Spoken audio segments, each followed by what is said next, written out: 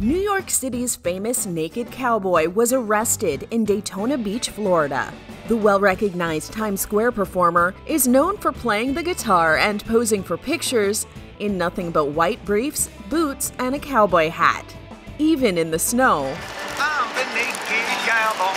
You gotta do what you gotta do. The naked cowboy, who in real life is 51 year old Robert Burck, headed to the warmer climate of Daytona Beach, Florida, to play for tips during Bike Week.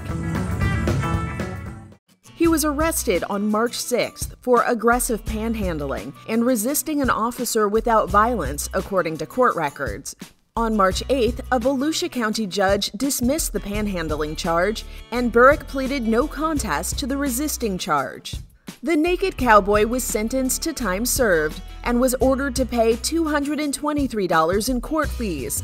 That may be a lot of tip money, but as the naked cowboy says, you gotta do what you gotta do. You gotta do what you gotta do. For Inside Edition Digital, I'm TC Newman.